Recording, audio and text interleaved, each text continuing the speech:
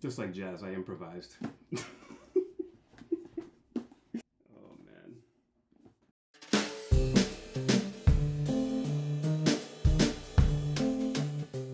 Blue Giant chronicles the life of a teenager named Dai Miyamoto, a student in Japan who is one day taken to a jazz show by his friends and decides that very night he's going to be the best sax player of all time. He gives up college, playing basketball, and gives up his hometown and friends so he can go all in to a genre where many people deem it a dying business. Now, I came across this title when um, I when I was on Twitter and I just came across this trailer for an anime film that's actually coming out in Japan in February. So there's going to be an animated film based on you know this story.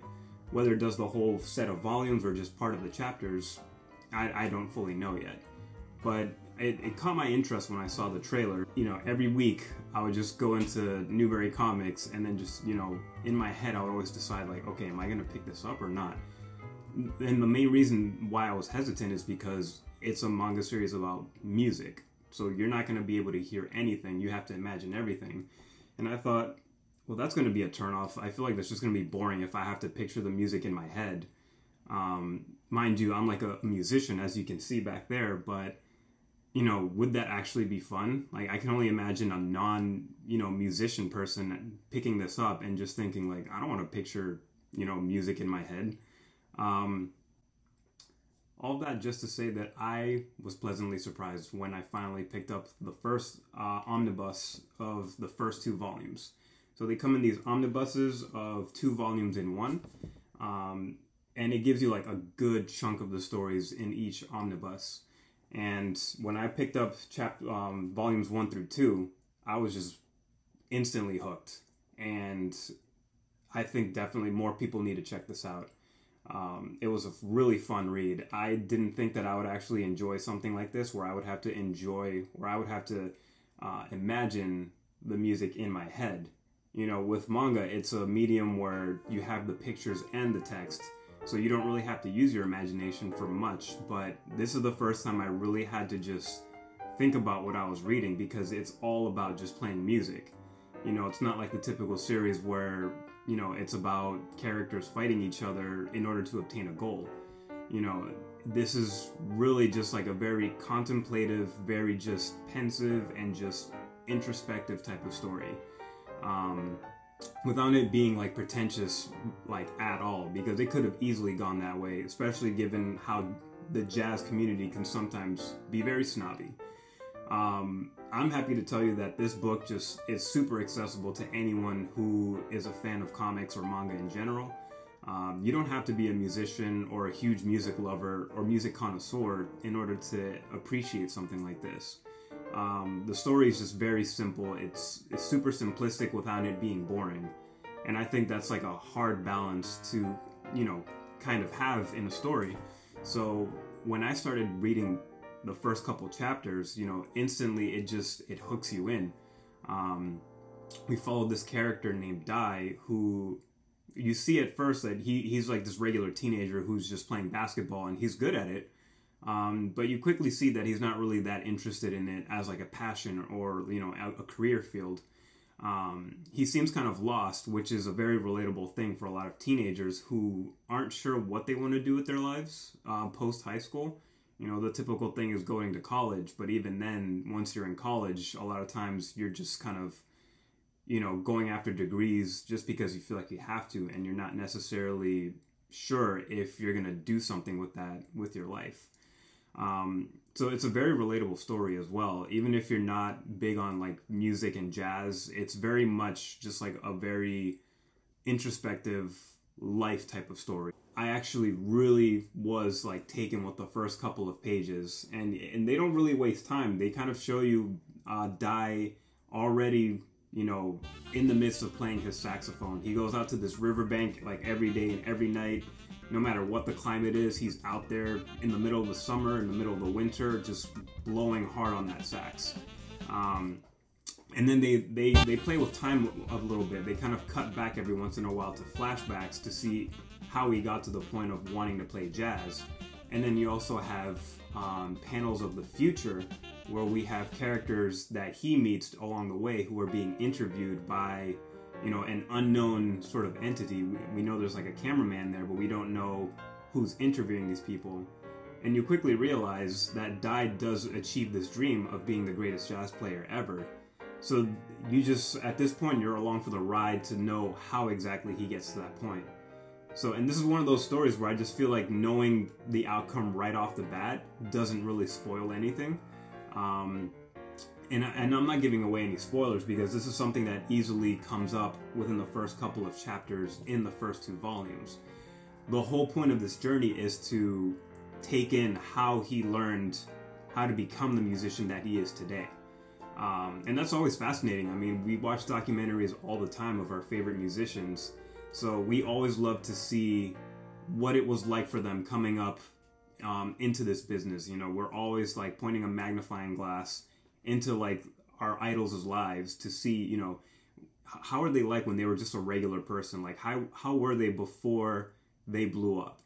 Um, and it's just fascinating to sort of explore that in a manga series real quick, I just want to talk about like the art style because the art is always like the most crucial thing in a manga series. I feel like it, it tends to make or break a person's decision on whether they're gonna pick up a copy or not. You know, if the drawings suck, it's gonna be much harder to sell something like that. Um, even with a great story, you know, it, people could easily be turned off by just like lazy illustration or just bad illustration. The pages are great uh, the character designs, the environments, they're drawn simple but not lazy. And then when, you know, when there's like a huge epic moment, you know, specifically whenever a musician is going up on stage and just laying it all out there, um, there's these wonderful, beautiful splash pages of characters just like you know, in the middle of like a solo, like you, there's pages of like Dai, for example, with a tenor sax. He's just like blowing on this thing, and it you see the expression in the faces and their body movements, and you see like you know sweat and like there's sometimes even colored pages where it just shows you like all the lighting and all like you know the glistening sweat on players who are going hard on their performance. It really just looks like a poster that you could easily hang on your wall and I, I wish now I really wish I had some posters, but there's like barely any type of you know exposure in the U.S. at least regarding Blue Giant. You know, it's not like this huge hit. It's kind of like this very quiet, very small niche type of thing, which it makes sense because we're talking about jazz, which is sort of like a, a breed of music that's just like not popular anymore. Um, and for a teenager to go into this business, um, you know, in like the 2010s, that that's pretty ballsy. I mean, jazz is really not the most profitable genre if you're gonna go any music route. You know, usually it's like pop or hip hop these days. Uh, jazz was once the huge zeitgeist in, in the U.S., but that that's long gone, and then even in Japan, that, that's even more so.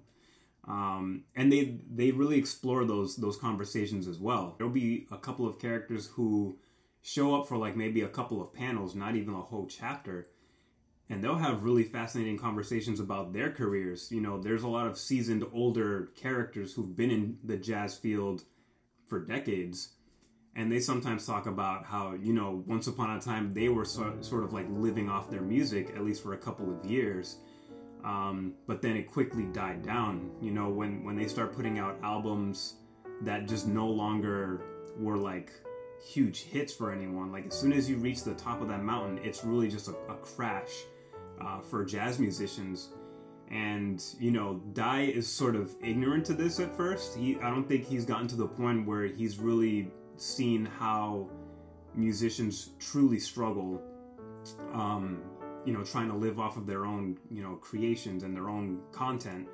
Um, so for for them to have like these conversations, even with just like the side characters that you see, um, it sort of just builds the world of this series of how treacherous it can be to be a musician who's trying to solely depend on their own music and not have to, you know, pick up other jobs in the meantime and just, you know, trying to fund their um, their real dreams.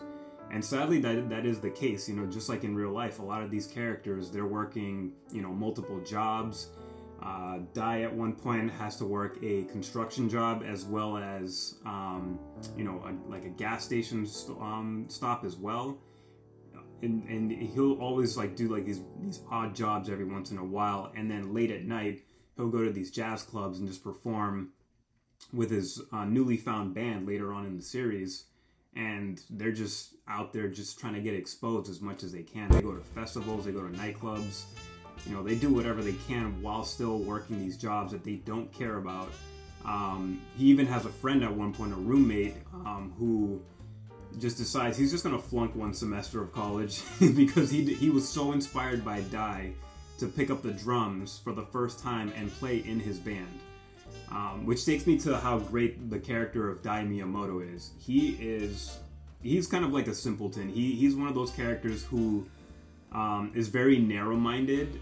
Um, he, like he's just super goal-oriented. Especially once jazz hits him, it, it, it was all over. Like nothing else in his rear view mirrors or his back mirrors is just like nothing mattered to him at that point. Um, he even has a chance to like go on a date with this girl multiple times actually there's multiple times where he could easily ask somebody out and we see that he has feelings. She's also interested interested in him but he just knows that he's just not going to be able to be there for her when he's in the midst of achieving this dream. Um, and that's the case with a, a lot of people who are in the music world. You know you have to travel a lot you have to give up a lot of nights um, especially after coming off of a nine to five or like a couple of uh, part-time jobs you know there's very little time to really have a stable relationship when you are chasing an unstable career. And you know those are like really great moments that we get with Dai like we, we see like a very earnest character who he knows what he wants and he knows what he should avoid and what he should do in order to get to that point of being a great musician sadly you just have to give up some of those things even if you really want it you know? And that, that's just like a relevant thing no matter what story you're telling. You know we always want to be able to have everything but there's just no way we can fit everything that we want in our lives. The biggest point of, of this story like the biggest takeaway is you know the music.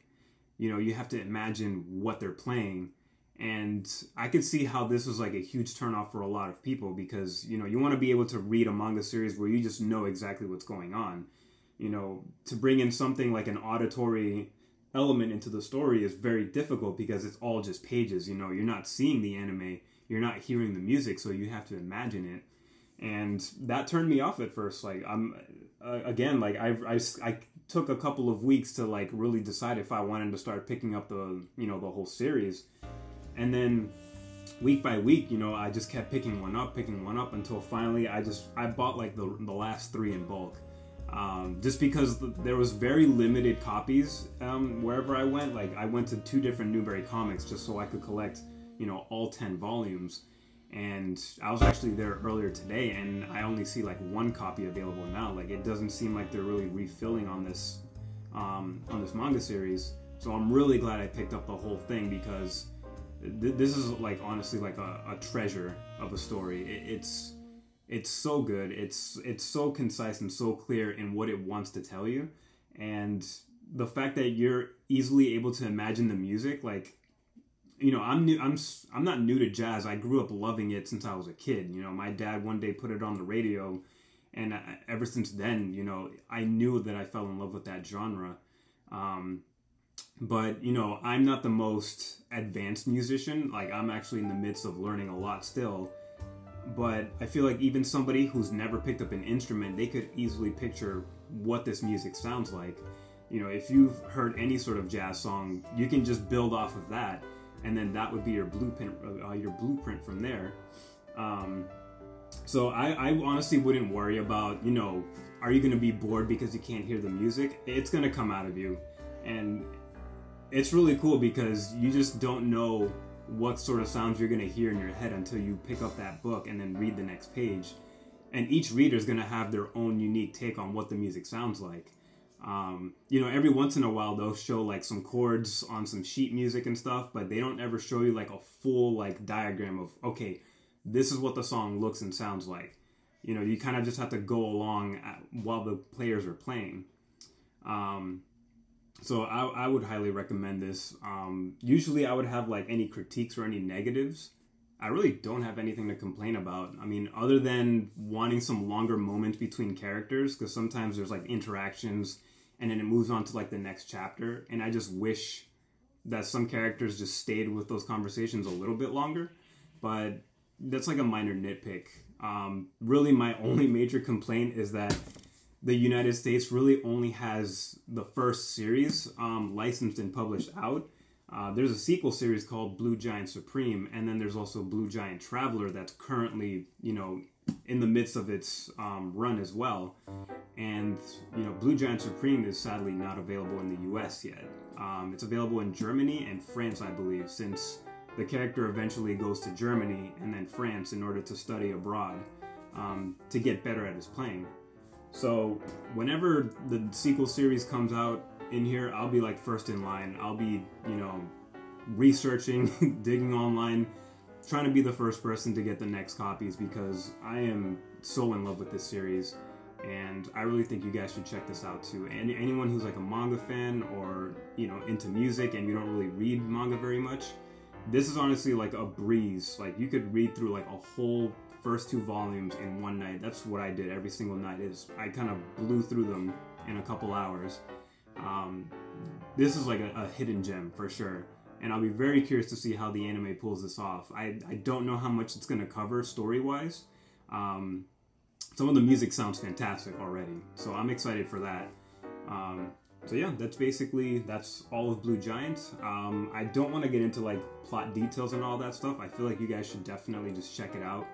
Um, I just wanted you guys to sort of get an understanding of my general impressions and sort of, you know, get the idea that this is a fun book to read. You don't have to be a musician in order to understand anything. And, you know, in terms of hearing the music, it'll honestly come from you. Like, you'll be surprised at what you create in your head as you're reading this. It's so awesome. So that's basically it. And I hope you guys, you know, check this out if you do check it out, please, you know, leave some comments and just let me know what you think. Until then, guys, um, see you later.